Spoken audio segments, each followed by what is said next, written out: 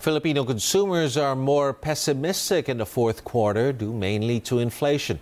The Philippine Central Bank's confidence index declined to negative 14.6% this quarter, worse than the third quarter's negative 12.9%.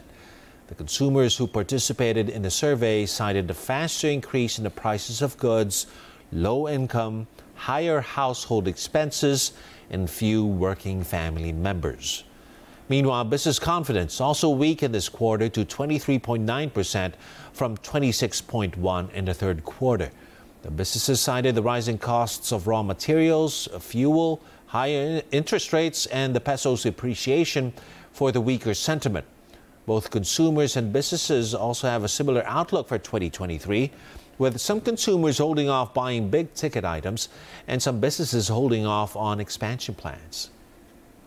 The European Council open to pursuing fresh trade deal talks with the Philippines.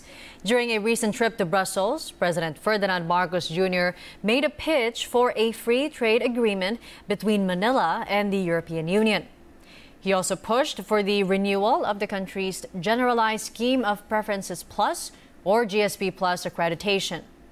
According to the Office of the Press Secretary, the European Council's president said the GSP Plus accreditation would open the doors for a much easier start in going into FTA negotiations.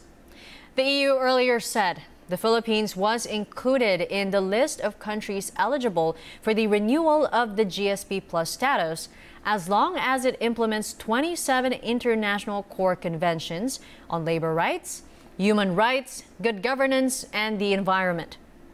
Meanwhile, negotiations for the FTA between the Philippines and the EU started in 2016. The last round of discussion was held in 2017. President Marcos has signed an executive order adjusting the percentage of net earnings to be declared by the Development Bank of the Philippines. Based on the EO, the percentage was adjusted from 50% of net earnings to 0% for calendar year 2021. The dividend law requires all government owned or controlled corporations to declare and remit at least 50% of their annual net earnings to the national government. But the president, upon the recommendation of the finance secretary, may adjust the percentage of annual net earnings to be declared by a GOCC in the interest of the national economy. The finance secretary has recommended the downward adjustment in order to support DBP's capital position and sustain its role in the economic recovery of industries adversely affected by the pandemic. The Philippine government moves to streamline drivers' access to tollways across Luzon.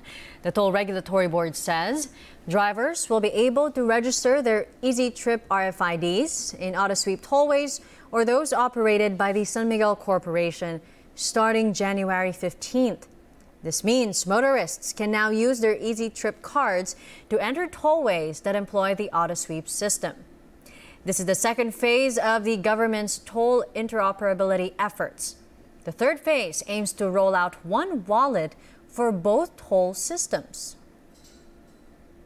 Local officials looking into changing the carrying capacity allowed on Boracay Island as the world famous destination is reportedly at risk of collapsing.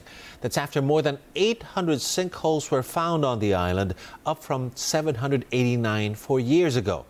The Mines and Geosciences Bureau has urged Boracay officials to ensure that the island's carrying capacity is observed. The mayor of Malay Town, where Boracay is located, says the island is currently receiving some 4,000 tourists a day. That's still within the allowed carrying capacity of 6,500. Local officials will meet with the Mines and Geosciences Bureau on December 21st to discuss mitigating measures. Discuss din within Aryan kung ano ba dapat gawin. Maghingi ako ng uh, mapa niyan sa MDB. Makikita natin sa mapa ay gaano kalaki yung mga sinkhole dyan. At least, ma, ano natin, ma-regulate natin yung mga sakto dapat ilagay.